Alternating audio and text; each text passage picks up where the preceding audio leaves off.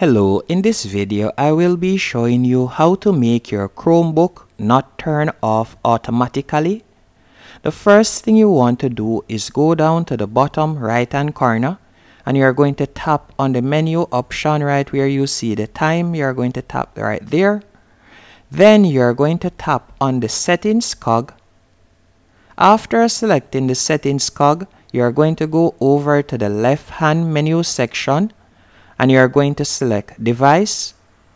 After selecting device, you're going to tap on power.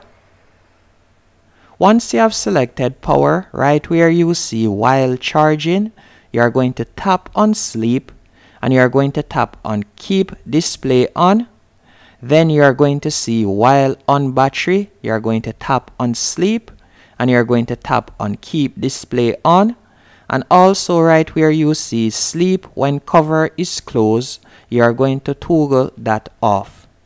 And that's it. Hope you found this video helpful and informative on how to make your chromebook screen not turn off automatically